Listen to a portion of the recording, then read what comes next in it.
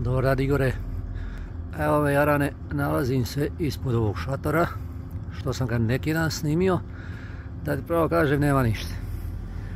Čekam čamim, ispod njega ima već sedam dana ništa nema. Gume tražim za tebe, nema ni to jarane. Bogu hvala, snijeg prestao da pada, ali počet će vrlo brzo.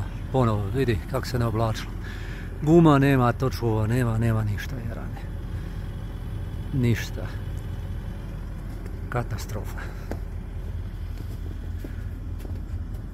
Stojim ispod ovog šatora i gledam, gledam ovu bičnu, vidi ga.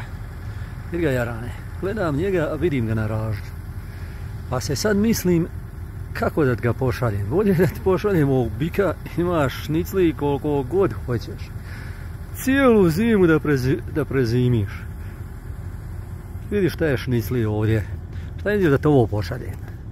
Jebo gume, ne od guma ništa. To bolje je ovo. Da ja tebe ovo pošaljem, pa ti se snalaz kako god znaš i umiješ s ovim. Ništa Igore.